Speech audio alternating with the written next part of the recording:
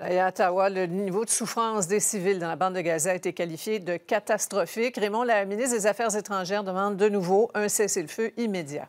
Oui, c'est elle qui a réagi aujourd'hui. Il n'y a eu aucun commentaire là-dessus de la part de Justin Trudeau. La réaction canadienne est venue de Mme Joly, la ministre canadienne des Affaires étrangères, après qu'elle ait été interpellée par Jagmeet Singh aux communes cet après-midi. Écoutez. Des femmes et des enfants brûlés vivants. Qu'est-ce que ça va prendre pour ce gouvernement d'envoyer un message clair à Netanyahu que ce qu'il fait est inexcusable. Et les images qui proviennent de sont horribles et brisent le cœur. Les civils palestiniens n'ont nulle part où aller. Et le fait de tuer des civils innocents est complètement inacceptable. Les décisions de la Cour internationale de justice sont contraignantes et le niveau de souffrance des civils est catastrophique. Et c'est pourquoi il doit y avoir un cessez-le-feu immédiat. Le gouvernement Trudeau qui a par ailleurs annoncé qu'il souhaite accueillir davantage de Gazaouis au Canada.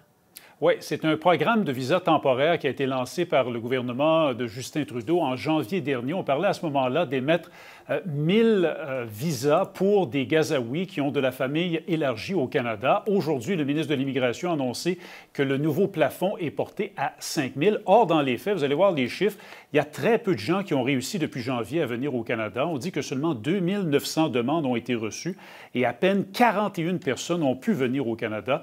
Le ministre Mark Miller, qui a été questionné là-dessus aujourd'hui, dit que le succès du programme dépend beaucoup notamment d'Israël. Alors c'est beaucoup hors de son contrôle, nous a-t-il dit.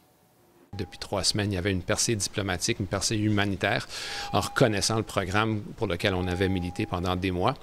Évidemment, les événements de Rafah sont venus par la suite euh, fermer, fermer, encore la frontière. On parle de 5 000, ça, on est d'accord avec ça. Je ne connais pas personnellement tous les écueils qu'ils ont rencontrés pour que ça soit prolongé comme ça.